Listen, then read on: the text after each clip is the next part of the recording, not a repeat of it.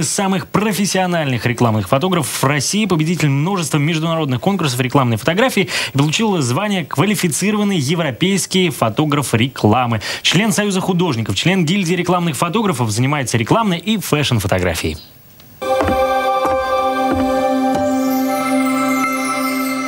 Я просто фотограф. Хорошо, утро, хорошо. Игорь. Доброе- Важная поправка. Доброе утро. Хотелось бы вам сказать, слышали тему, которую мы обсуждали, хотелось бы от вас услышать, да, какой-то ответ э, по заданному вопросу. Ну, фотограф вашему уровне, наверное, достаточно легко составлять себе график работы, и он может быть даже какой-то вальяжный, может быть. Может быть, да. Сейчас я уже себе могу позволить э, работать в том режиме, который мне удобен. Потому что ведь- все-таки я творческий человек. Но ведь фотография это же тоже собственный бизнес, можно сказать. Вы сам руководитель своего собственного бизнеса, когда вы свободный фотограф. Но вот э, мы говорили уже сегодня о том в эфире, что существует мнение, что человек, у которого собственный бизнес, он гораздо больше работает, чем тот, кто работает на кого-то. Конечно. Потому что я должен зарабатывать в итоге. Приходится работать э, и довольно-таки много. Но раз съемки длятся по 12-16 часов. Но в связи с этим, наверное, и пришли в рекламу. Что Ну, нужно зарабатывать, и там, вероятно, больше можно заработать, нежели чем на обычной, я не знаю, художественной фотографии. Я пришел для того, чтобы удовлетворить свои амбиции и при этом заработать. А почему, кстати, возникли такие самые амбиции? Реклам... Почему именно рекламная фотография вас заинтересовала? А, Я в свое время снимал и репортажи, и тогда модно было снимать так называемую чернуху, и, и роддом снимал, роды, снимал и дома престарелых, но тогда все было как-то грязно и серо, мне захотелось что-то яркого и солнечного. Я пошел создавать свой мир, фотостудию. А реклама это как раз яркая и солнечная, можно Да, конечно, сказать. конечно.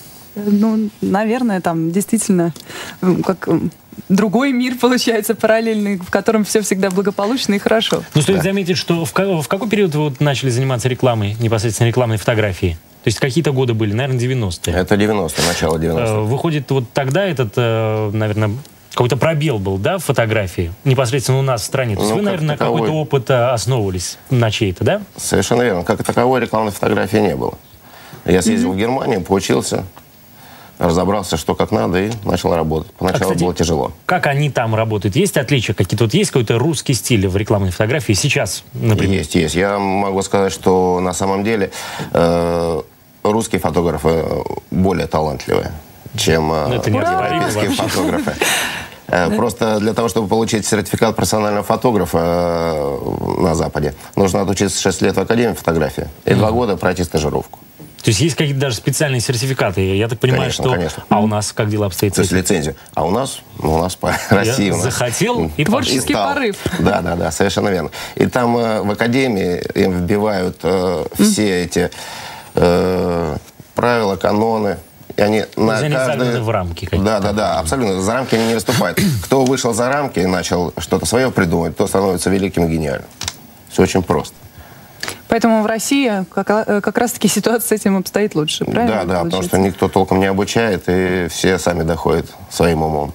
Но это возможно, не обучаться ну, где-то на специальных курсах и самому потихонечку своим собственным трудом Возможно, к но это дольше, дольше намного лучше обучиться. А, кстати, не хотите открыть, допустим, собственное дело, обучать э, зелень какую-нибудь? Э, У меня, работает моя школа рекламной фотографии, у меня уже около 100 выпускников. То Как есть здорово. Ну, это замечательно. Я хочу нашим телезрителям э, предложить и нам всем вместе посмотреть ваши фотоработы сейчас, потому что у нас есть небольшое слайд-шоу. Давайте посмотрим, потом вернемся к нашей беседе.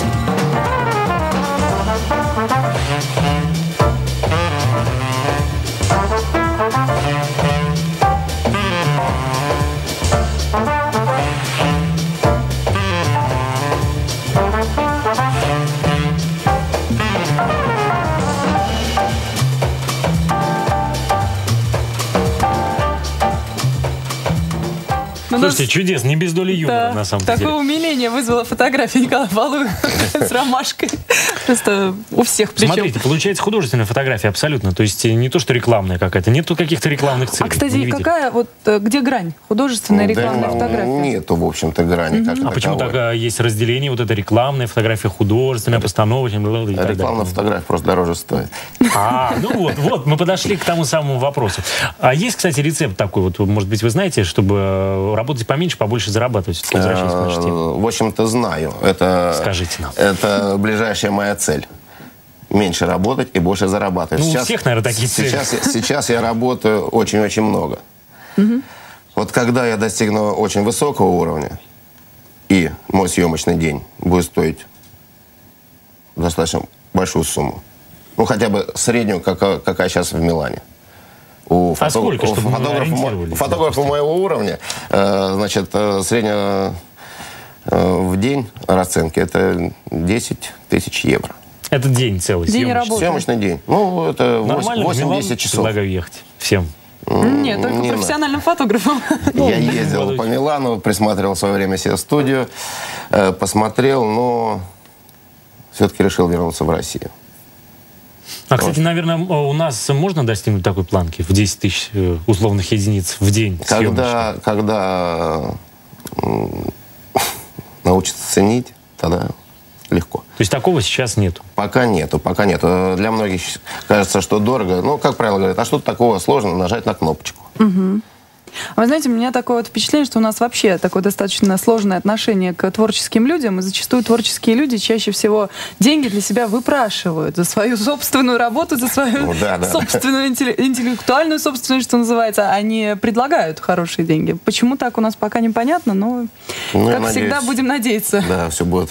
Надежда есть, умирает э, в итоге у вас вот э, по поводу заработка, да, это э, даже не рецепт какой-то, а цель просто, цель вашей жизни. То есть, э, чтобы раскрыть нашу тему, нужно просто поставить себе цель таковую. Совершенно верно, да. То есть это должна быть не мечта. Я, как правило, э, в своей жизни делал так. Ставил перед собой цель, достигал ее и ставил То есть вы считаете, цель. что мечтать при этом не нужно? Мечты это что-то несбыточное. Так, а Помечтать-то можно, может не быть, проблема. ну, может быть, нужно к этому тянуться, допустим, поставить, э, мечтать о чем-то, вот, чтобы зарабатывать 10 тысяч, к примеру, да, условных это единиц, цель. грубо говоря. Нет, мечтать об этом, да, все время думать об этом. И И тогда... тогда не Да, заработаешь. Не заработаешь, но хотя бы 5 точно будешь иметь. Ну, может быть. Может быть, вот так тоже А ставить? цель 10. Так что лучше поставить цель и постоянно к ней идти, шаг за шагом. Кстати, хотелось бы еще раз вернуться к фотосъемкам, к самому процессу. Вот э, какая у вас была такая самая фантастическая съемка, которая запомнилась? Ну, мы увидели много очень ярких фотографий, но вот э, Ну, по самой бывает, от- бывает очень атмосфере. интересно. Э, По атмосфере не дали, как в это воскресенье, мы снимали с 11 утра до 12 ночи. Очень интересный проект, в котором было задействовано 25 человек. Ну, То есть 6 парикмахеров, 10 моделей, 3 визажиста, ассистенты, я как фотограф, дизайнер, видеооператор. И э, мы сделали очень интересный сюжет. Э, В ближайшем номере журнала «Хайерс». Я думаю, это появится все. Ну и потом в плакатах и так далее. А есть какие-нибудь забавные истории были вот на съемках? Допустим, с известными личностями. Были, были. Ну, расскажите хоть одну. А, вот э, тот же Николай Валуев, э, когда приехав э, на стадион, это все снималось на стадионе, где он тренируется. Мы приехали, и первым делом, что я увидел, Николая Валуева, подошедшего к стойке буфета. Э, Я в это время э, как раз разгружал аппаратуру, я так голову повернул, Да, я посмотрел. ты думал, что сейчас будет этот жест. Стоит такая стена. Я метр восемьдесят два, но по сравнению с Николаем я таким юным пионером выглядел. Э, И Николай купил два батончика сникерса. И он ел их как горошинки. Раз, один, второй. Игорь, скажите, пожалуйста, а вот э, долго пришлось упрашивать э, знаменитого боксера взять в руки ромашку и вот так вот э, трогательно Как посмотреть в камеру? вообще? Мы только на второй день смогли его уговорить, потому что он сказал, что я и ромашка это как-то несовместим. Но когда мы все говорим, давайте попробуем, не понравится, не будем снимать. Он увидел, ему понравилось, и Вашими моделями выступают не только люди, как я посмотрел, но и животные. Вот э, как тоже получилось так, что вот мышь так вы смогли трогательно сфотографировать? А это моя- Где поймали? Моя крыса. Ага. Дам, э, порода дамба, зовут ее Европа, и она очень великолепно Как позирует. это вы так выбрали? Наверное, рекламировала сыр ваша крыска. Сыр рекламировала. Нет, э, мы снимали просто, так как год крысы ныне, мы просто для своих постоянных заказчиков э, делали электронную открытку. Ну, вот «Крысы Европы» — это очень оригинальное имя, мне кажется, здорово. Э, Спасибо вам большое за то, что пришли в нашу студию, за то, что ответили на наши вопросы. Поговорили мы о нашей сегодняшней теме, как э, поменьше работать, побольше зарабатывать.